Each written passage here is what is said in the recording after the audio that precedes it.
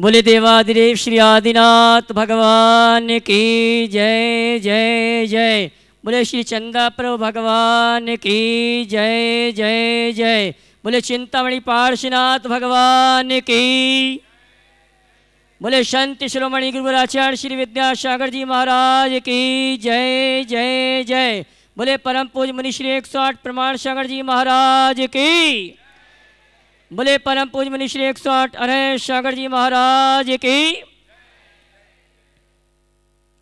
सत्य और संस्कृति का सजा भव्य वितान, कदम मिलाकर चल पड़ी धर्म और विज्ञान, आत्मविकास का दिव्य सदन, जैन सिद्धांतों की वैज्ञानिक प्रयोगशाला, जहाँ बोलेगा समोषण और जहाँ पंचायतन शैली में अद्भुत, अतिशयकारी जिनालय ज्ञान मंदिर का निर्माण हो रहा है।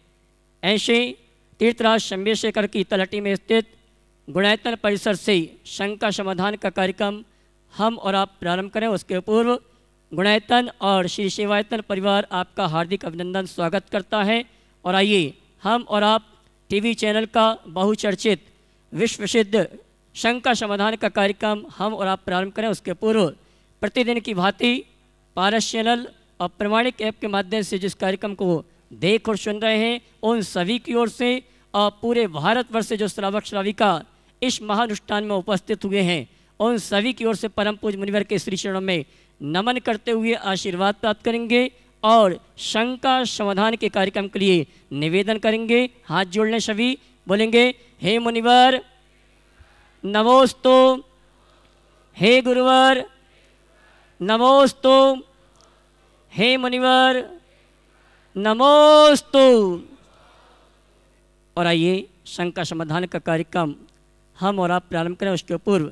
जिन्होंने गुणायतन का अवलोकन किया, अनुभव केंद्र का अवलोकन किया, और वहाँ पर जो कार्य चल रहे हैं उनको देखने के बाद जिनके भाव गुणायतन से जुड़ने के हुए हैं, उन सुधी श्रावकों को मैं आमंत्रित करूँगा। वे आएँगे परम पूज मुनिवर के श्री चरणों में नमन करते हुए गुरुवंदा का सौभाग्य प्राप्त करेंगे और हमारे गुणायतन परिवार का सम्मान स्वीकार करेंगे। सर्वप्रथम जिन्होंने स्वर्णदान देने का सौभाग्य प्राप्त किया है।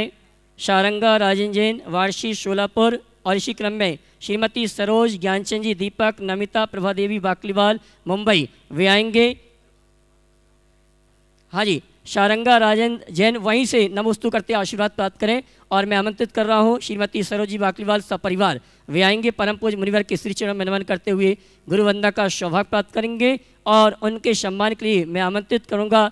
गुणायतन मंत्री श्रीमती चंद्रकला जी पाटनी रांची और श्रीमती शीतल लाधानी वक्षरा गुजरात, ये दोनों आएँगे और हमारी स्वर्णदान जिन्होंने दिया उनका सम्मान का कार्यक्रम संपन्न करेंगे। और इसी क्रम में जिन्होंने निर्माण निधि से जुड़ने का सौभाग्य प्राप्त किया है, मैं नामों की घोषणा करूँगा और मैं चाहूँगा अपने स्थान में खड़े होकर आप आशीर्वाद प्राप्त करेंगे। श्रीमती संतोष जैन, अनुराग, अमित जैन, सुल्तानपुर अपने स्थान में खड़े होकर आशीर्वाद प्राप्त करें। श्री सुरेश चंद जी जैन, अनुज कुमार जैन, देहरादून। श्रीमती चंदा देवी, श्री राजकुमार मनीष कुमार जी जैन, रानौली वाले सूरत अपने स्थान में खड़े होकर आशीर्वाद प्राप्त करेंगे। श्री वसंत रतन शाह, श्रीमती उज्ज्वला वसंत जैन, वडोदरा। और अभिषेक पारस भाई, जैन मिलन सोसाइटी, अहमदाबाद। जोरदार ताली बजाकर उनका सम्मान करें, जिन्होंने निर्माण निधि से जुड़ने का अवसर सौभाग्य प्राप्त किया है। वहीं से खड़े होकर नमोस्तु करेंगे, आशीर्वाद प्राप्त करेंगे और निर्माण शारथी के रूप में जिन्होंने जुड़ने का सौभाग्य प्राप्त किया है, मैं सम्मान सहित उनको मंच पर आमंत्रित करूँगा। वे आएँगे परम पूज मुनिवर के श्री चरण में नमन करते हुए आशीर्वाद प्राप्त करेंगे। मैं निवेदन करना चाहूँगा, वहीं से खड़े होकर आशीर्वाद प्राप्त करें, जो यहाँ पर रैम पे आ रहे हैं। मैं हाँ जी, कैमरामैन, थोड़ा नमोस्तु करें तो आप दिखा देना। श्रीमान नेमचंद जी श्रीमती निशी हितेश, स्वर्गीय श्री एल एम जैन दिल्ली, जिन्होंने निर्माण शारथी के रूप में जुड़ने का सौभाग्य प्राप्त किया है। वे आएँगे परम पूज मुनिवर के श्री चरण में नमन करते हुए। गुरु वंदना का सौभाग्य प्राप्त करेंगे और उनके सम्मान के लिए मैं आमंत्रित करूँगा। श्री शिरोमणि संरक्षक वीर कुमार भरत मेहता गुलवर्गा, वे आएँगे हमारे सम्मानी निर्माण शारथी का सम्मान का कार्यक्रम संपन्न करेंगे। श्रीमान वीर कुमार भरत मेहता, इसी क्रम में आ जाइए इस तरफ़ पहुंचो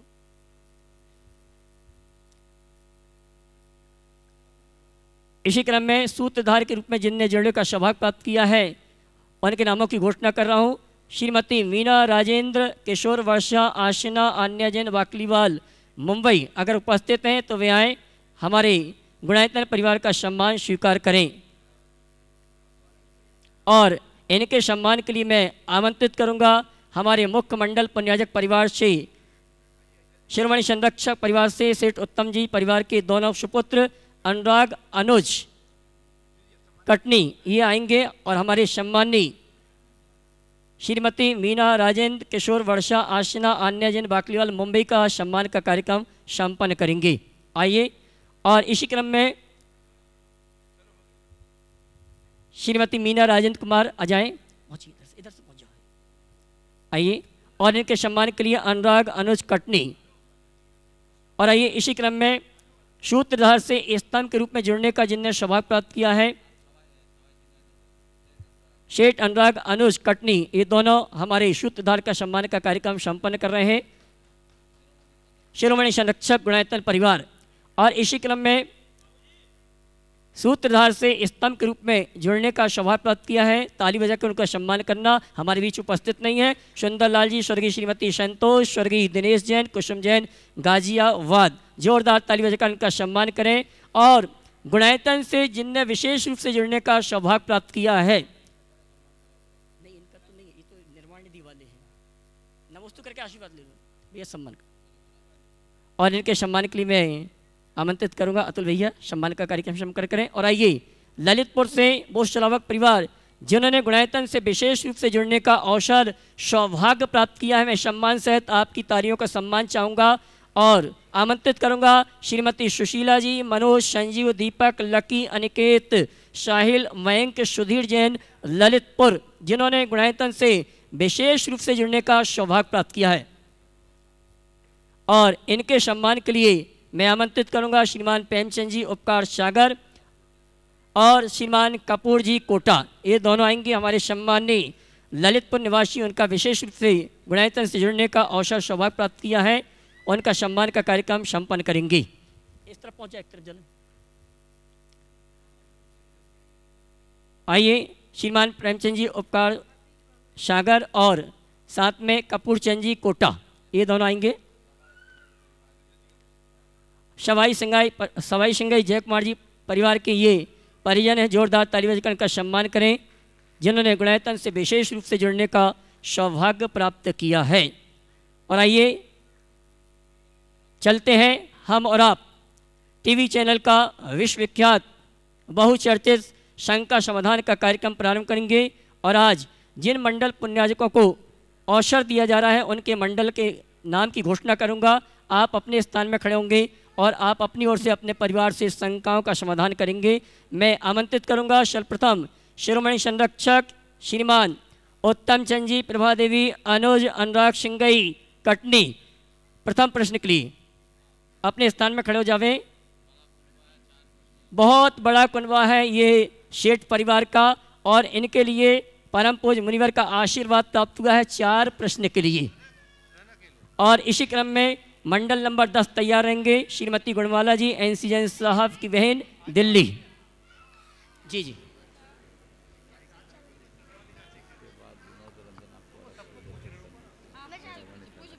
नमोस्तु महाराज जी। हाँ। हम चावल क्यों चढ़ाते हैं? हम फूल क्यों नहीं? बहुत अच्छा सवाल। अपना नाम और बता दो तुम। रनक। रनाओ देखो हम भगवान के सामने अक्षत इसलिए चढ़ाते हैं कि अक्षत की दो विशेषता है।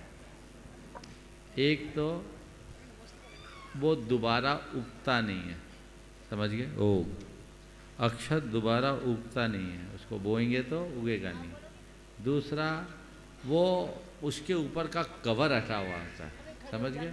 तो जैसे हमारे ऊपर ये शरीर का चोला हट गया तो हमारे भीतर का जो आत्म तत्व है हमारे भीतर का जो परमात्मा वो प्रकट होगा। तो ये भेद विज्ञान का द्योतक है और ये अपुनर्जन्म का द्योतक है। जन्म जरा से ऊपर उठना हम चाहते हैं। तो भगवान जिन्होंने जन्म जरा मृत्यु को जीत लिया है उनके चरणों में हम अक्षत चढ़ाते हैं। फूल नहीं समझ गए? जी। हाँ। जो बोलो दूसरा हाँ। हे भगवान नमोस्तु बच्चे और नमोस्तु बूढ़े। नमोस्तु। ठीक है भगवान ये प्रश्न मेरा नहीं है मेरा मगर मेरे परिवार के कुछ सदस्यों का है। हाँ। कि चतुर निकाय के देव होते हैं उनको देव संज्ञा है।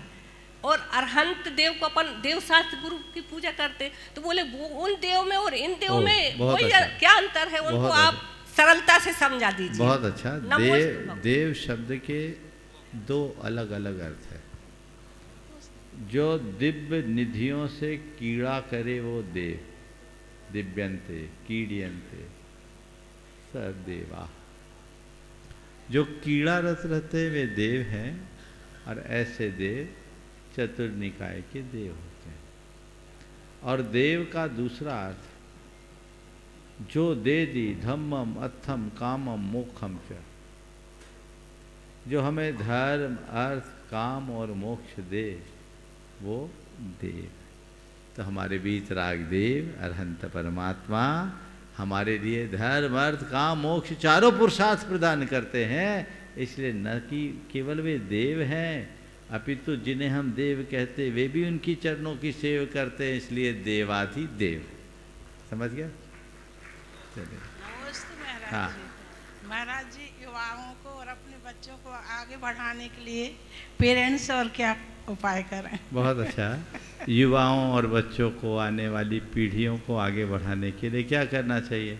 ऐसे ही समय समय पर बड़े बड़े धार्मिक आयोजन करके जन बच्चों के साथ आना चाहिए। देखिए कितना अच्छा उत्साह है। बहुत सारे लोगों ने मंडल लिए लेकिन ये मंडल ऐसा है जिसमें चार पीढ़ी तो मुझे दिख रही है शायद पांचवी भी हो सकती है। चार ही है कि पांचवी भी है? चार। पीढ़ी। पीढ़ी। हर उम्र के लोग ज़्यादातर सीनियर सिटीजन मिलेंगे। लेकिन मैं आप सबसे पुनः कहता हूँ, आप चाहते हैं कि हमारी पीढ़ियों में धर्म का अनुराग बना रहे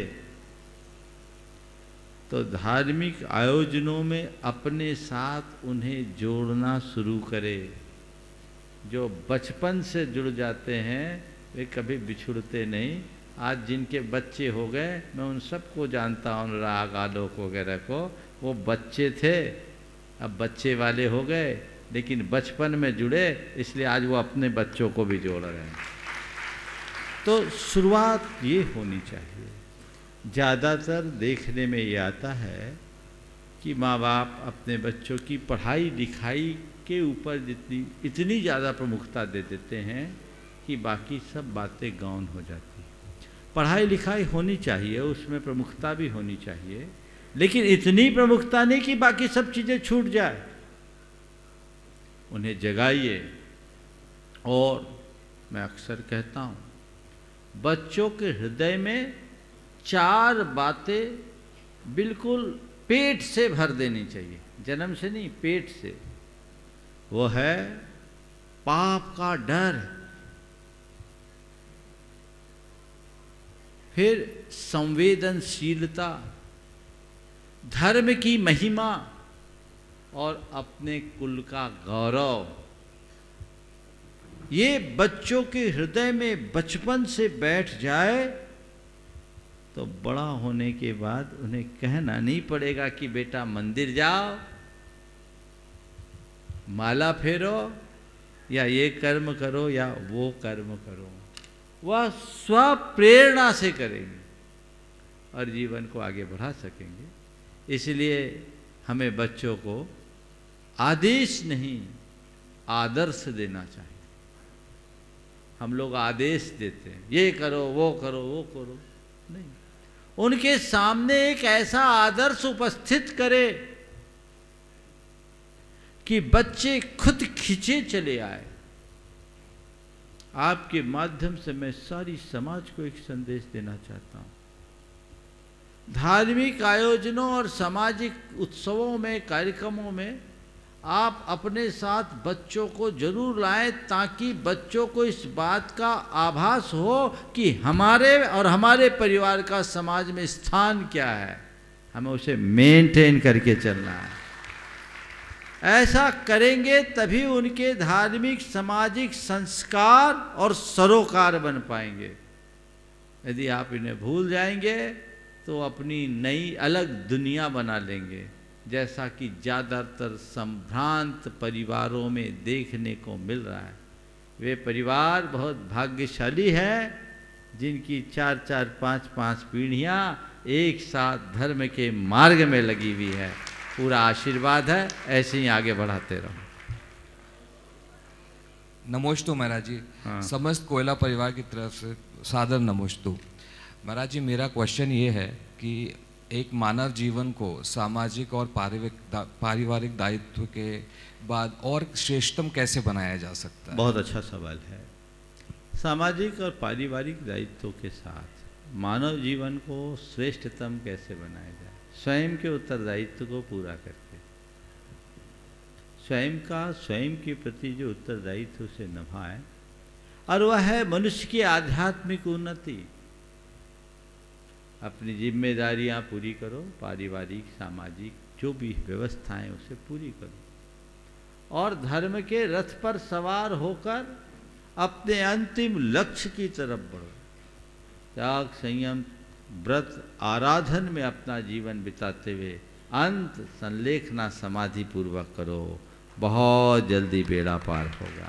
नमोस्तु। नर भाव का सार यही होगा। हर किसी को यही भाव रखना चाहिए। पहले हमने पुराणों में पढ़ा है कि राजा महाराजा उनकी संतान योग्य होती जीवन के चौथे पन में दीक्षा ले लेते थे। आज तुम दीक्षा नहीं ले सकते, कोई बात नहीं। कम से कम व्रति बनकर संलेखना पूर्वक देह बदलने का तो लक्ष्य रखो। पहले से ऐसा लक्ष्य लेकर जो चलते हैं, वे ही ऐसा सौभाग्य पाते हैं। अन्यथा लोग अस्पतालों में आहें भरते हुए मरते हैं। मैं आप सबसे कहता हूँ लक्ष्य बनाओ मुझे मरना नहीं है। क्या बोल रहा हूँ? मुझे मरना नहीं है, भेद ज्ञान के साथ देह परिवर्तन करना है। ये लक्ष्य लेकर के चलोगे, तभी अपने नर भाव को सार्थक बनाया जा सकेगा। नमोस्तु महाराज जी नमोस्तु महाराज जी मंडल नंबर दस श्रीमती गुणमाला जी एन सी जैन साहब दिल्ली उसके बाद तैयार रहेंगे। मंडल नंबर ग्यारह गुणायतन ट्रस्टी श्रीमान जिनेत कुमार श्रीमती रश्मि आदित्य नितिन जैन नोएडा। मुनि द्वे के चरणों में मंडल नंबर दस की तरफ़ से मैं मेरी बहन गुणमाला और इंदिरा सभी की तरफ़ से त्रय बार नमोस्तु गुरुवर। अब प्रश्न ही हमारी बहन करेगी। मुनि श्री के चरणों में नमोस्तु नमोस्तु नमोस्तु। ओ बोलिए। एक से दूसरे दूसरे से तीसरे में ट्रांसफ़र मुनि श्री मेरी जिज्ञासा यह है कि यदि कोई व्यक्ति या समाज या कोई परिवार के कोई धार्मिक कार्य का संकल्प लेता है और उस कार्य को करने में विलंब होता है या उस कार्य को नहीं करने के लिए भाव होते हैं तो उसमें उस व्यक्ति या परिवार, समाज को कौन सा पाप का कर्म उदय है? और जिस व्यक्ति ने संकल्प दिया, दिलाया है, उस व्यक्ति पर क्या प्रभाव होता है कि उसके द्वारा दिलाया गया संकल्प पूर्ण नहीं हो रहा है? जिस व्यक्ति, परिवार ने संकल्प लिया है, उस संकल्प को करने, पूर्ण करने के लिए क्या करें वह? संकल्प पूर्ण हो नहीं सके। देखिए, आपका प्रश्न लंबा है। और जितना मैंने सार समझा, उसे समेट कर आपकी बात का उत्तर दूँगा। आपके पूछने का आशय मुझे ये प्रतीत होता है कि किसी धार्मिक कार्य के लिए किसी व्यक्ति ने कोई संकल्प लिया और अपने संकल्प की पूर्ति में वो विलंब कर रहा है या नहीं कर रहा है, इसका क्या दोष होगा?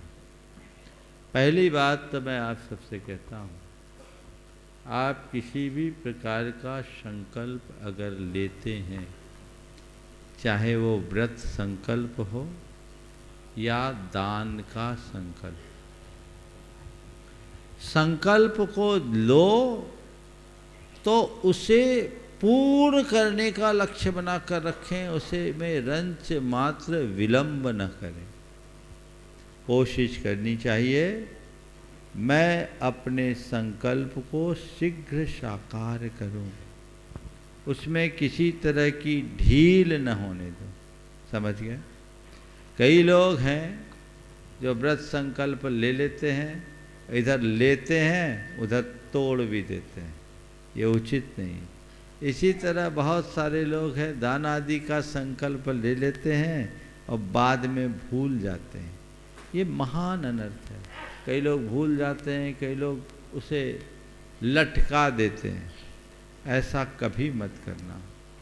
जितनी दृढ़ता और उदारता से आप संकल्प लेते हो उतनी ही तत्परता और प्रतिबद्धता उसे पूर्ण करने में भी दिखानी चाहिए। इसकी ढिलाई का परिणाम बुरा होता है इसलिए यथाशीघ्र उसे पूर्ण करना चाहिए। नम, नमस्ते गुरुवर। पश्चाताप बोले गए शब्दों का ही हो ये ज़रूरी नहीं। कभी कभी समय पर नहीं बोलने का पश्चाताप जीवन भर रहता है। महाराज जी हम अपने मन को इस वेदना से कैसे बाहर निकालें कि यदि समय पर बोल दिया होता तो काश ऐसा ना होता? देखिए इस पश्चाताप से बचने का उपाय तो बाद में बताऊँगा। कभी ऐसा पश्चाताप करने की नौबत ही ना आए वो उपाय बता दूँ तो ज़्यादा अच्छा है। जी महाराज। तो बस यदि मनुष्य मुझे क्या बोलना है? कहाँ बोलना है? कितना बोलना है और कैसे बोलना है? का? तो फिर हमें ज़्यादा कुछ कहने की ज़रूरत ही नहीं पड़ेगी। ये पश्चाताप किन्हें करना पड़ता है? उन लोगों को जो सही बोलना नहीं जानते और समय पर बोलना नहीं जानते। हमेशा बोलो वही जो सही हो और बोलो वही जहाँ ज़रूरत हो। यदि ये बात ध्यान में रखें तो पछतावे की ज़रूरत नहीं पड़ेगी। और जो यहाँ संयम नहीं रखेंगे वो कितना भी पछताएँ पछताते रह जाएँगे ओम तीसरा। मेरा तीसरा नहीं है मेरा मंडल नंबर दस की तरफ़ से क्वेश्चन नहीं है। अच्छा। ये मैं गुणायतन की उसकी तरफ़ से पूछ रहा हूँ। मुनिद्वय के चरणों में समस्त गुणायतन परिवार का दो बार त्रे बार नमोस्तु। गुरुवर, अभी सिद्ध चंद्रमंडल विधान चल रहा है। कई लोगों से रोज़ मिलना जुलना होता है। कई पुराने नए लोग आ रहे हैं। सभी लोग ये पूछते हैं कि गुणायतन कब तक तैयार होगा। पिछली बार आए थे तब भी आपने यही कहा था। उसके पिछली बार आए थे तब भी यही कहा था। और जब मैं उनसे कहता हूँ या किसी से बात करता हूँ, भाई, पिछली बार आपने कहा था, दान की राशि पूरी हो जाएगी, वो तो अभी तक हुई नहीं। तो उसका उनके पास कोई जवाब नहीं होता है। मुझे कई बार लोगों ने, मैं इसको अन्यथा नहीं ले कोई भी, कि लोग दो साल, तीन साल, चार साल, पाँच साल की संकल्प लेते हैं और उसमें पूरा नहीं कर पाते हैं। अब उससे कई प्रकार की दुविधाएँ उनको भी और हमको भी है, महाराज श्री हमको ये है कि हम किसी चीज़ का प्लान नहीं कर पाते हैं। हम सोच रहे हैं कि हमारे पास इतना रुपया एक साल में, दो साल में, तीन साल में आ जाएगा। हम उसी हिसाब से आगे कॉन्ट्रैक्टिंग कर लेते हैं, फिर उसमें परेशानी पैदा होती है। और वो लोग, उनकी हो सकता है वास्तविक समस्याएँ हों, मैं उनको कोई नहीं कर रहा हूँ, लेकिन मुनिश्री जो जिसने दान दिया, और हमारे पास ऐसे लोग हैं जो अभी बोला, और हाथों हाथ यहाँ से निकल के वहाँ जाके दे जाएँगे, या पहले दे के आएँगे, बाद में अपना यहाँ अभिवादन करवाएँगे। दूसरी स्थिति है कि उन्होंने एक साल में, दो साल में बोला तो वो एक साल, दो साल जो निश्चित अवधि में दे देते हैं। कुछ लोग ऐसे कि दो साल के बजाय चार साल में देते हैं और कुछ लोग ऐसे या तो भूल जाते हैं या फिर हमारे यहाँ से बार बार हम उनको निवेदन करते हैं तो भी उसमें कोई तरक्की या कोई वो नहीं होती। तो मुनिश्री दुविधा है कि एक तो ये बताया कि उनको दान का पूरा उनको लाभ कब मिलेगा, कैसे मिलेगा और हम लोग की स्थिति में क्या करें? देखिए आपका सवाल नहीं ये तो आपकी व्यथा है। और मैं आप सबसे ये कहना चाहूँगा, जितनी उदारता से आप बोलते हो, उतनी तत्परता से देने का भाव रखें। समाज में कुछ लोगों की ऐसी प्रवृत्ति सी बनने लगी है कि वे दान की घोषणा तो कर देते हैं, देते नहीं। ऐसा करके वे अपने जीवन के साथ एक बहुत बड़ा अनर्थ कर लेते हैं। हमें ऐसे कृत्यों से पूरी तरह बचना चाहिए।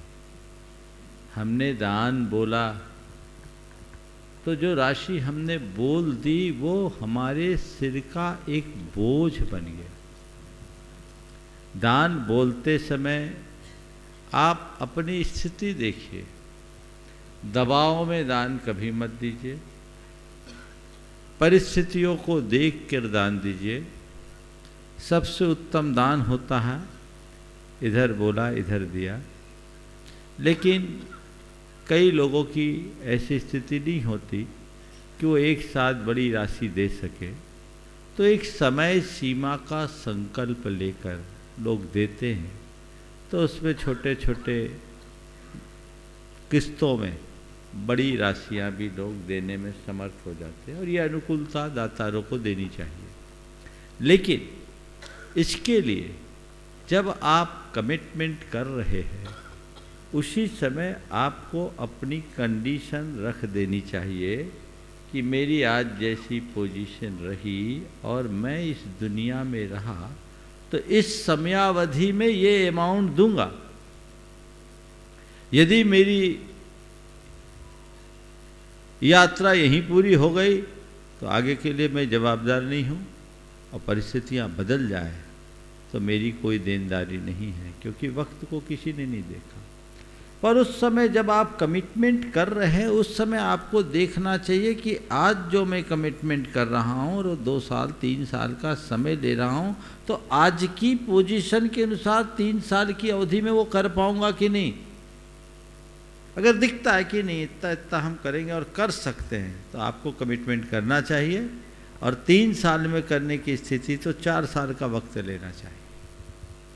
और आयोजकों को भी घोषणाओं के आधार पर योजना नहीं बनाकर, उनकी जिस स्तर की घोषणा, उस स्तर से योजना बनानी चाहिए कि एक आदमी ने बोला है तो आपको पता है पहली किस्त अब आएगी, दूसरी आएगी, तीसरी आएगी, चौथी आएगी। उसी अनुपात से आप अपने खर्च के कार्यक्रम को बनाइए और अपनी परियोजना को गति दीजिए तो इसमें कहीं कठिनाई नहीं होगी। और ज़्यादातर लोग ऐसा करते हैं। पर हाँ जैसा आपने बोला, निश्चित आपका ही नहीं, पूरे देश के सभी धार्मिक संस्थाओं के प्रमुखों का ये अनुभव है कि बहुत जगह लोग बोल देते हैं, बस बोल देते हैं, देते नहीं। दस दस साल, पंद्रह पंद्रह साल हो जाते हैं। ऐसा करके वे लोग नहीं जानते कि अपने साथ कितना बड़ा धोखा कर रहे हैं। एक बहुत बड़ा धोखा है, छलावा है। ऐसा मत करो। तुम किसके आगे कमिटमेंट किए हो? दे, गुरु और धर्म के आगे जो संकल्प लिया है, उसे तो जितनी जल्दी संभव है पूरा करो। एक भाई जो कुछ ओवर इस्टीमेट काम कर लिया ओवर इस्टीमेट काम करने का परिणाम तो बुरा होता ही है, मैं अक्सर कहता हूँ। अब उसका काम सब हैंग हो गया। इसी बीच उसकी कई जगह धर्मायतनों के लिए कमिटमेंट्स थे। एक दिन मेरे पास आया, उसने अपनी परेशानी कहते हुए कहा, महाराज, क्या करूँ? सब काम ठप सा हो गया, सारे हाथ बंध गए, अब क्या करूँ? मैं जहाँ पर था, वहाँ एक मंदिर बन रहा था, वहाँ भी उसकी एक बड़ी कमिटमेंट थी। मैंने उसे एक वाक्य कहा कि देख, गलती तेरी है, गलत नीति अपनाई, कुछ पैसा उसका फंस गया था, वो पैसा आ जाएगा। इसी कर, आधा भावना पर किया था कि पैसा आएगा, मैं कर लूँगा। हमने कहा, एक काम कर, सबसे पहले तू भगवान का अकाउंट क्लियर कर। वहाँ का अकाउंट क्लियर करेगा तेरे सारे अकाउंट क्लियर हो जाएँगे। उसने कहा, महाराज, आज आपने बहुत सही बात की है। मैंने कहा, देख देव द्रव्य तेरे घर में है तो अंतराय कैसे टलेगा? अंतराय और बढ़ेगा। ये व्यक्ति श्रद्धालु था, समझदार भी था। उसने पंद्रह दिन के अंदर जहाँ जहाँ के जो कमिटमेंट थे, उसने उसे पूरा किया। और आप सुन करके आश्चर्य करोगे।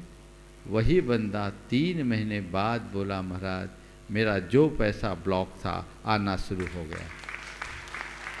उधर मैंने क्लियर किया, इधर काम हो गया। क्यों? ये तो अंतराय है ना। इधर अंतराय टलते ही सब चीज़ें बदल जाती है। एक छोटा सा पत्थर का चटपट, पत्थर की शिला हटती है, अंदर पानी का सोवा फूट जाता है। होता है ना, चट्टान हती तो ऐसे ही कर्म है। कर्म के हटते देर नहीं लगती। पल में बदल जाता। है इसलिए सभी लोगों से मैं कहूँगा कि कभी कोई कमिटमेंट करो तो इस बात की तो प्रतीक्षा ही मत करो कि सामने वाला मांगेगा तो मैं दूँगा। ये कर्जा लेकर जाओगे तो पता नहीं कितने भावों में दरिद्र होना पड़ेगा भिकारी बनना पड़ेगा। नहीं इसे तो मुझे जो मैंने समय तय किया है, उसमें देना है। तो देना ही कोई मांगे तो नहीं देना, मुझे चला कर देना है, क्योंकि मैंने स्व प्रेरणा से ये कार्य किया है और अपने हित के लिए किया, अपने आत्मा के कल्याण के लिए किया। किसी के ऊपर कोई एहसान लादने के लिए नहीं किया। ये सोच मन में रखती है तो चीज़ें अपने आप आती है। और कमिटमेंट आपका है तो आप परिवार को मत जोड़ना, क्योंकि कुछ उदाहरण मेरे सामने आए। पिता ने कमिटमेंट किया और उनके सौ वर्ष पूरे हो गए। माँ है, बच्चों ने संपत्ति हथियाली पर दिया नहीं। तो मैंने एक सीख लिया और लोगों से मैं कहता हूँ, बच्चों के भरोसे दान मत करना, अपना दान देने का भाव रखना। हाँ कहीं भी दान दे करके आओ तो जाकर अपने परिवार में सबको कहो कि मैंने ये दान बोला है और आगे ध्यान रखना, मेरी जितनी भी एसेट और लाइबिलिटी है, उसमें ये भी है, इसे पूर्ण करने की ज़िम्मेदारी तुम्हारी है। वो करेंगे करेंगे, करते भी है लोग, बहुत सारे लोग करते तो जीवन का कोई भरोसा नहीं। इन बातों को ध्यान में रखते हुए यदि काम किया जाए तो मैं समझता हूँ कहीं कठिनाई नहीं होगी और लोगों को भी इस पर बहुत गंभीर होना चाहिए। देव द्रव्य और निर्माल्य के दोष बहुत गहरे बताए गए हैं। इनको आप ध्यान में रखिए, इन्हें हल्केपन में मत लीजिए, आगे चला कर कीजिए। कई जगह मंदिरों के पंचकल्याणक में लोग भाग लिए और सौ धर्मेंद्र भी बढ़ गए और बीस बीस बरस हो गए, पैसे ही नहीं दिए। मैं एक स्थान में था वहाँ हमारे सानिध्य में पंचकल्याणक हुआ। और बारह बरस पहले एक पंचकनानक और हुआ था। लोगों ने बोला, महाराज, पिछले पंचकनानक का रुपया नहीं आया और मज़े की बात, इस पंचकलानक में वही लोग बड़ी बड़ी बोली ले रहे जिनका पुराना बकाया। अरे भाई, कहाँ पुण्य कैसे फलेगा? यहाँ उधारी। जिनेन्द्र भगवान को विराजमान करे उधार में तो उधार कहाँ होगा? तो दान आदि करते समय बहुत ही तत्परता का ख्याल रखना चाहिए और उसी अनुरूप कार्य करना चाहिए। बस अब दो ही। मंडल नंबर ग्यारह गणतंत्र ट्रस्टी श्रीमान जिनेन्द्र कुमार जी श्रीमती रश्मि जैन आदित्य विद्य जैन नोएडा और श्रीमान एस के जैन साहब गुना। उसके बाद तैयार रहेंगे मंडल नंबर बारह से श्रीमणी संरक्षक श्रीमान प्रेमचंद जी प्रेमी परिवार कटनी। मेरे परिवार के आराध्य गुरु के चरणों में मेरा, मेरे परिवार एवं प्राणी मात्र का बारंबार नमोस्तु नमोस्तु नमोस्तु। गुरुदेव, हमने कोई धर्म की कोई बड़े बड़े ग्रंथ नहीं पढ़े और ना ही कोई क्लास ज्वाइन की हुई है। आप गुरुओं के सानिध्य और मार्गदर्शन से धर्म को जानकर, सच्चे धर्म को ग्रहण करके और मिथ्यात को पूरी तरह त्याग करके अपने जीवन को जीने का पूर्ण प्रयास करते हैं। लेकिन गुरुदेव, हमने पाया है कि इसमें हम बहुत अकेले पड़ जाते हैं। लोग हमको दकियानुसी धर्मांत कहते हैं।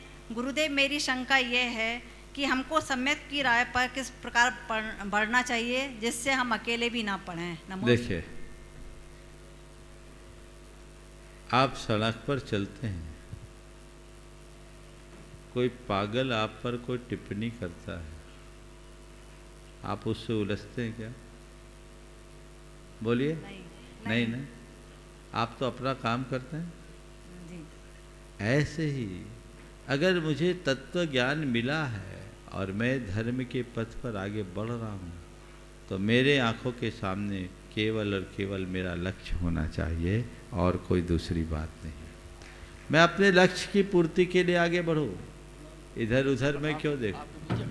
उनका काम वो जाने। यहाँ जो कुछ भी मैं कर रहा हूँ, अपने लिए कर रहा हूँ। काश उन्हें तत्व की समझ होती तो वो भी ऐसा करते। मेरा एक स्थान पर चातुर्मास चल रहा था। बहुत सारे लोग चार चार महीने चौ तो चौका लगाते हैं। एक बहन जी अपने परिवार से ही चौका लगा रही थी। एक महानुभाव आ गए।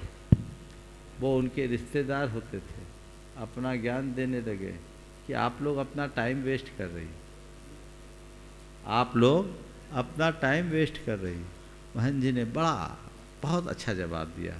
अत्यंत विनम्रता से कहा, ठीक है यदि आपको ऐसा लगता है कि हम अपना टाइम वेस्ट कर रहे हैं तो आप अपने टाइम का उपयोग करो पर मेरा जिसमें इंटरेस्ट है हम वही करेंगे। हमें ज्ञान मत दें।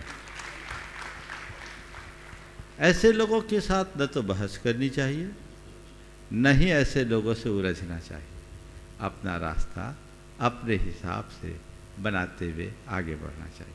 ओ। हम्म। बोलो। मंडल नंबर बारह से श्रीमणी संरक्षक श्रीमान प्रेमचंद जी प्रेमी कटनी और साथ में मनोज कन्नौज और सरस सरावगी जी एक साथ। महाराज श्री एक प्रश्न मैं भी करना चाह रहा था अगर आपकी अनुमति हो हाँ तो। हाँ बोलो। तो कैमरा तो इधर आ गया वेट करो फिर करना। हो जाएगा वहीं से? बोलो हाँ बोलो। महाराज श्री के चरणों में हमारे परिवार का पूरी गुना समाज का और बजरंगगढ़ क्षेत्र कमेटी की तरफ़ से सादर नमोस्तु नमोस्तु नमोस्तु। महाराज श्री, हम लोग व्यवस्थाएँ देखते हैं मंदिरों की तो अक्सर हमने देखा है कि कुछ नौजवान या नए बच्चे जो मंदिर में आना चालू करते हैं, वैसे ही उनको लोग बाग जो लोग क्रियाओं पर ज़्यादा ध्यान देते हैं, वो लोग उनको टोका टाकी चालू कर देते हैं। तो उनको, उनका मनोबल बढ़ाने की बजाय उनको हतोत्साहित करते हैं उल्टा, महाराज जी। तो ऐसे लोगों के लिए आपके महाराज जी मैं चाहूँगा आपके माध्यम से ऐसे निर्देश मिलें जिससे और क्योंकि दिन पर दिन हमारे यहाँ वैसे ही मंदिरों में भीड़ कम होती जा रही है। तो मेरा महाराज जी आपसे विनम्र निवेदन है कि ऐसे लोगों के लिए आप निर्देश दें जिससे वो लोगों को टोक टाकी बंद करें बल्कि उनको उत्साहित करें महाराज जी। बहुत अच्छा सवाल किया है। पहले तो मैं चाहूँगा एक बार एस के जैन का करतल ध्वनि से सम्मान कर दें। एक बहुत अच्छे सामाजिक कार्यकर्ता हैं। दोनों भाई गुनायतन से भी जुड़े हैं। और ये बजरंग के अध्यक्ष हैं इनके नेतृत्व में वहाँ भव्य मंदिरों का निर्माण हो रहा है और ये बखूबी कर रहे हैं। आपका कार्य संपन्न हो ये मेरा आशीर्वाद। आपने जो सवाल किया है बहुत अर्थपूर्ण है। मैंने अनेक बार इस विषय में मार्गदर्शन दिया पर मुझे लगता है ये कतिपय लोग हैं इनको सुधरना ही नहीं। ये मंदिर के मुकदम बन जाते हैं। मुकदम समझते हैं जी महाराज। हाँ उनको लगता है कि बस जो कुछ है हमारे ही हिसाब से हो। मैं ऐसे लोगों से कहता हूँ कि अगर कोई नया व्यक्ति आता है, चाहे वो युवा हो या कोई तो हमें चाहिए कि हम उसे प्यार से प्रोत्साहित करते हुए समझाएँ, न कि टोका टाकी करें। एक सज्जन है, अभी उनकी उम्र होगी लगभग सतहत्तर अठहत्तर साल। लेकिन वो बड़े लोकप्रिय। उनका काम सारे युवाओं को लेकर जाना और बच्चों को आगे करके उनको मंदिर में पूजा अभिषेक कराना, अलग से उनको सिखाना। और लोग कहते हैं, दादाजी हैं, हम इनको अनुकरण करेंगे। लोग आनंद से उनकी इज़्ज़त भी करते एक रूप ये है अरे तुमने ऐसा कर दिया, वैसा कर दिया। ये उंगली दिखाकर जो बात करने की प्रवृत्ति है, ऐसे लोगों से लोग बिदकते हैं। उनके कारण लोग छोड़ भी देते हैं। तो सभी लोगों से मैं कहूँगा कि नई पीढ़ी अगर मंदिर आ रही है, थोड़ी बहुत गलती भी कर रही है तो उस समय उसे नज़रअंदाज करो। उन्हें कुछ समझाना भी है तो जब उसकी पूजा आदि की प्रक्रिया पूरी हो जाए, दो तीन दिन उसको आने दीजिए फिर एक दिन धीरे से पूजन आदि के बाद अकेले में उसको बुलाओ, उसकी पीठ थपथपाओ, बेटा, तुम आते हो, तुम्हें देखकर हमें बहुत खुशी होती। तुम भगवान की पूजा कर रहे हो, तुम्हें देखकर हमें खुशी हो रही है। आज तुम जैसे नौजवानों के मंदिर में रहने से मंदिर हमेशा जवान बना रहेगा। हम बूढ़े अब कितने दिन के टिकेंगे? भविष्य तो तुम्ही लोगों के हाथ में है। तुम ऐसे ही आया करो। और बस मैं चाहता हूँ देखो ठीक है अभी शुरुआत शुरुआत की बात है एक दिन में कोई सीखता नहीं। हम भी शुरुआत में कुछ नहीं जानते थे पर बड़े बुज़ुर्गों ने हमें सिखाया आज हम सब कुछ जानते हैं। तुम चाहोगे तो हम तुम्हें सब बता भी सकेंगे और बहुत जल्दी तुम सीख जाओगे। क्या आप ऐसा नहीं बोल सकते? बोलिए बोल सकते कि नहीं बोल सकते? और ऐसा बोलोगे तो सामने वाले पर सकारात्मक प्रभाव पड़ेगा कि नहीं पड़ेगा? बोलो।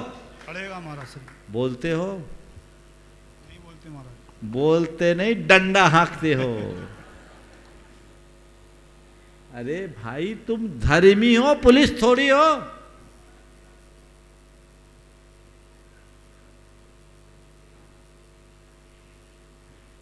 अपने बात को ध्यान में रखो।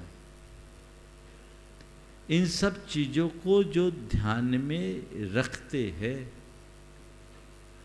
वे ही आगे बढ़ते हैं। गुरुदेव का एक हाइकू है। दादा बने हो, दादागिरी न करो। दादा बने हो, दादागिरी न करो। नीचे की लाइन भूल रहा हूँ, तीसरी लाइन। दादा बने हो, दादागिरी न करो। आपे में रहो, ऐसे कुछ लाइन। हाँ? दायरे में रहो हाँ। दादा बने हो, दादागिरी न करो, दायरे में रहो। तो भैया, तुम बड़े हो तो तुम अपना दबदबा मत दिखाओ। अपने बड़प्पन का परिचय दो, ताकि सामने वाला खुद तुम्हारा कायल बन जाए और तुमसे सीख कर तुम्हें अपना आदर्श बनाए। तो ऐसा करे और दूसरा, कुछ जगह हमने एक व्यवस्था बदली। एक स्थान पर मैं था, वहाँ ये समस्या थी। दो तीन महाशय के कारण सब बिलकते थे। वहाँ एक ही बार अभिषेक होता था। हमने कहा रोज का झमेला, ये आदमी सुधरेगा नहीं। तो हमने क्या किया? तीन बेदियाँ थी, तीन तल्ले में। हमने उसके तल्ले को छोड़ दिया और ऊपर नीचे का अलग टाइम बना दिया और कहा, सब युवा यहाँ करना और वहाँ बहुत अच्छे, सब वहाँ भीड़ लगी रहती, वहाँ वो तीन, चार है, पांचवा कोई ढुकता नहीं, कौन जाए उनका सामना करने? लोग सोचते सवेरे सवेरे दिमाग खराब क्यों करो? हम तो भाव की शुद्धि करने के लिए आते हैं। तो फिर एक उपाय ये है कि यदि वो नहीं सुधरे तो हम अपना रास्ता बदल ले। हमारा धर्म हमें ये सिखाता है, किसी से उलझो मत, अपना रास्ता बदल लो।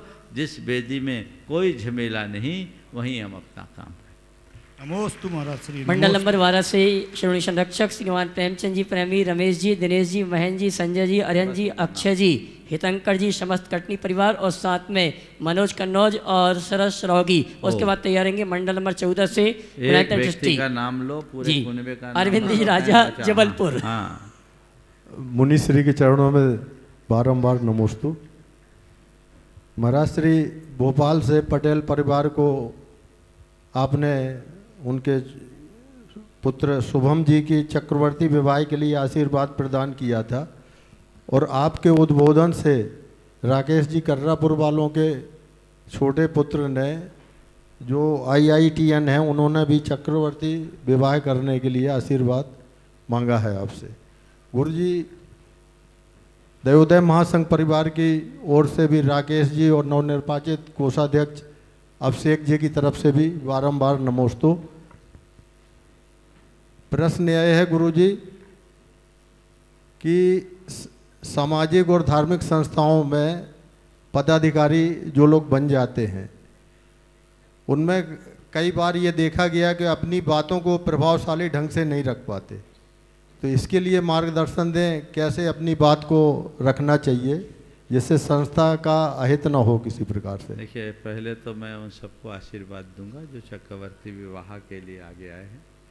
और मैं आप सबकी जानकारी के लिए कहूँगा कि आने वाले चार और पाँच दिसंबर को इनके भतीजे का भी चक्रवर्ती विवाह यहीं सम्मेद से कर जी गुरु जी अरे एक बहुत अच्छी शुरुआत हाँ? यहाँ और उनमें इनका एक तरफ़ से ये है दूसरे तरफ़ मुकेश ढाना का परिवार है उनकी बिटिया है। तो एक बहुत अच्छी बात है सागर से यहीं से चक्रवर्ती विवाह हाँ वो प्रतिभा स्थली की छात्रा रही है। और इसके ही बाद दिसंबर महीने में ही शायद 15-16 दिसंबर के आसपास मनो, सत्रह अठारह, मनोज बाकलीवाल जो इंदौर से है, वे भी अपने पुत्र का यहाँ चक्रवर्ती विवाह संपन्न कर रहे हैं, वो गुनायतन के संरक्षक भी है। ये एक बहुत अच्छी शुरुआत है, एक सकारात्मक परिवर्तन है। यदि समाज के संभ्रांत परिवारों के लोग इस तरह का आदर्श उपस्थित करना शुरू कर देंगे तो हमारी समाज में व्याप्त अनेक कुरीतियाँ अपने आप दूर होगी और हमें इसे प्रोत्साहित करना चाहिए। चक्रवर्ती विवाह को विशिष्ट सामाजिक मान्यता मिलनी चाहिए, क्योंकि इस तरह के विवाह में हमारा धर्म पलता है, संस्कार पलता है और पाप से हम बच पाते हैं, जिसकी बहुत ज़रूरत है। मेरा उन सभी परिवारों को बहुत बहुत आशीर्वाद। अब आपने पूछा धार्मिक सामाजिक कार्य संस्थाओं में भाग लेने वाले लोग, ज़िम्मेदारी पदों जिम्मेदार पद पर रहने वाले लोग अपने बात को प्रभावशाली ढंग से नहीं रख पाते, प्रभावशाली तरीके से बात को रखने की कला आपने मुझसे पूछी है है ना? तो मैं तो ये कहता हूँ कि भैया, अपना जीवन प्रभावशाली बना लो तो तुम बोलो या ना बोलो, तुम्हारा प्रभाव अपने आप पड़ जाएगा। प्रभावशाली तरीके से बात रखना और बात। और सामने वाले के ऊपर अपने प्रभाव की अमित छाप छोड़ना और बात। आप यदि कोई बात रखोगे तो उसका असर अल्पकालिक होगा। लेकिन आपके व्यक्तित्व की जो छाप होगी वो दीर्घकालिक होगी तो हमारा व्यक्तित्व प्रभावशाली होना चाहिए और उसके लिए चार बातें बता रहा सबसे पहली बात, अपने टीम को साथ लेकर चलना चाहिए, टीम भावना बनानी चाहिए, पहली बात। दूसरी बात, औरों को प्रोत्साहित करके उन्हें आगे आने का अवसर देना चाहिए। तीसरी बात, अपनी क्रेडिट अपने पीछे वाले को देना चाहिए। श्रेय खुद नहीं लेना चाहिए। मैं जो कर रहा हूँ, वो मैं नहीं कर रहा हूँ। मेरा तो चेहरा है, पर मेरे पीछे की जो शक्ति है वो ये है, मैं इनके बदौलत कर रहा हूँ। यदि आपने उनको क्रेडिट देना शुरू किया, उनकी पीठ थपथपानी शुरू की तो निश्चित वे लोग आपके कायल बनेंगे। और चौथी बात, अपने कार्य को जवाबदेही के साथ प्रतिबद्धता पूर्वक करना चाहिए। पूर्ण जवाबदेही के साथ और प्रतिबद्धता, एक कमिटमेंट की तरह लेनी चाहिए। केवल बोलना नहीं है, जो हमने कह दिया, वही कर दिखाना है। ये सोच लेकर चले तो आपका प्रभाव अमिट होगा। फिर कभी किसी से कुछ कहने की ज़रूरत नहीं। नमोस्तु। ओम। गुरु जी को त्रिवार नमोस्तु। गुरु जी कटनी जैन समाज का भी सभी का आपको प्रति नमोस्तु। गुरु जी मेरा प्रश्न ये है कि वर्तमान में जो समय चल रहा है इस समय हमारे जो तीर्थंकर और वीर प्रभु है वो सब बीतरागी हैं। किसी प्रकार का कोई चमत्कार नहीं दिखाते। सभी भावनाओं से पूजा करते हैं। परंतु तो इस समय कुछ देखा जा रहा है कि हमारे यहाँ की युवा पीढ़ी जहाँ भी कोई चमत्कार दिखा, वहीं से फल लेके चल जाती हैं। इसके प्रति आप क्या संदेश देना चाहता हूँ? मैं ये क्वेश्चन हूँ। देखो, ये आज की बात नहीं, हर युग की बात है। मैं तो एक ही बात कहता हूँ। यदि इस तरह चमत्कारों से दुनिया के काम होते होते तो दुनिया में इतनी समस्याएँ क्यों होती? लोग संयोग को चमत्कार मान लेते मैं इन पर बिल्कुल भरोसा नहीं करता और न ही हमें ऐसे बातों पर रंच मात्र भरोसा करना चाहिए। विज्ञान और टेक्नोलॉजी का युग है। ऐसे युग में, ऐसे दौर में इस तरह की बातों पर भरोसा रखकर चलना मैं समझता हूँ अंधविश्वासी होने की पहचान है और ऐसे अंधविश्वासी लोग कभी अपना कल्याण नहीं कर सकते। जो लोग चमत्कारों के चक्कर में इधर उधर भागते हैं, जिस दिन उन्हें जीवन की वास्तविकता का ज्ञान होगा, उस दिन उन्हें सब समझ में आ जाएगा कि क्या जीवन का मूल है। मैं लोगों से यही कहना चाहूँगा कि चमत्कारों के पीछे भागने की जगह अपने व्यक्तित्व को चमकाना शुरू कर दो। दुनिया तुम्हारे पीछे भागेगी। तुम अभी चमत्कारों के पीछे भाग रहे हो। अपने व्यक्तित्व को इतना चमका लो कि दुनिया तुम्हारे पीछे भागने को पागल हो उठे।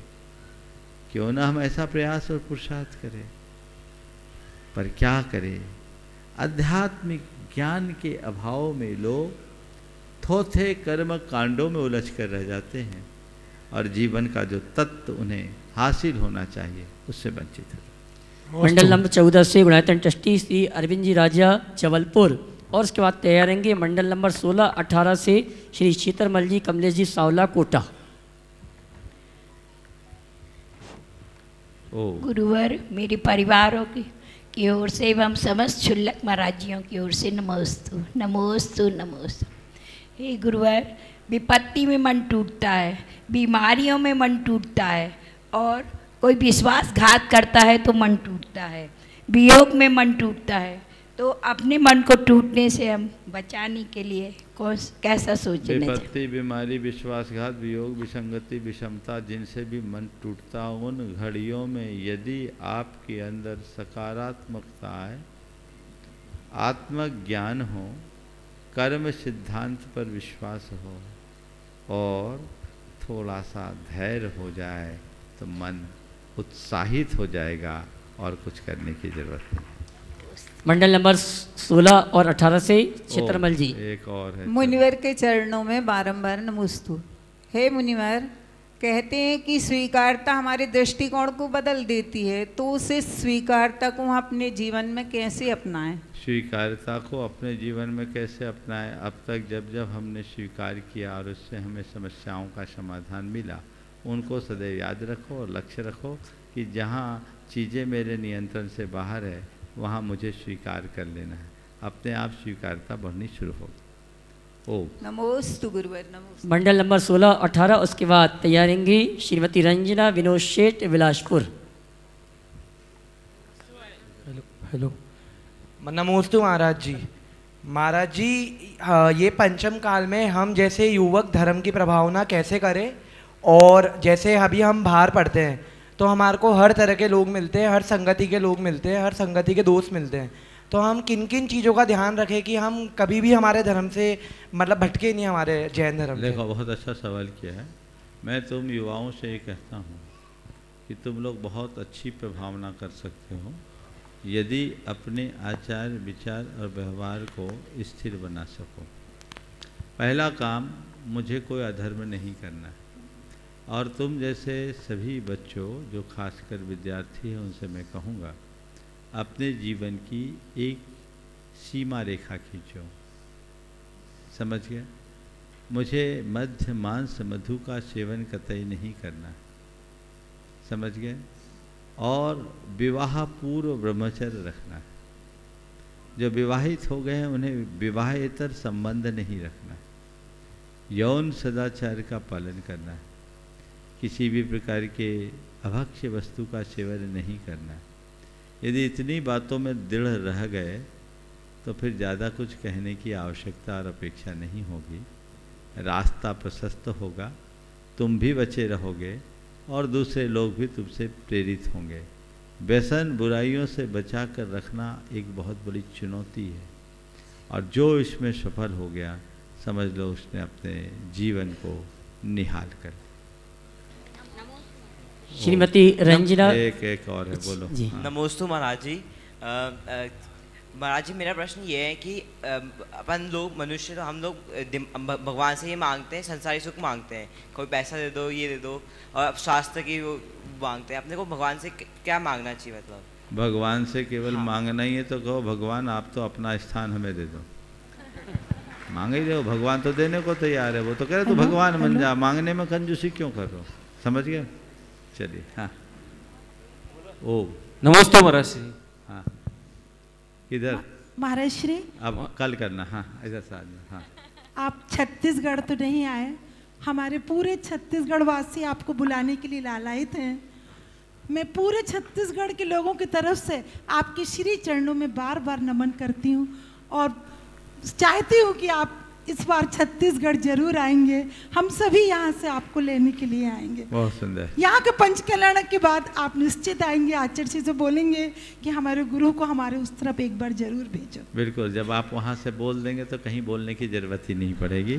और अच्छा है आप समय पर बोले और आपकी बोली पूरी हो। इसी आशीर्वाद के साथ आज के इस सत्र को परम पूज गुरुदेव के चरणों में नमन अर्पित करते हुए यहीं पर विराम दे रहा हूँ।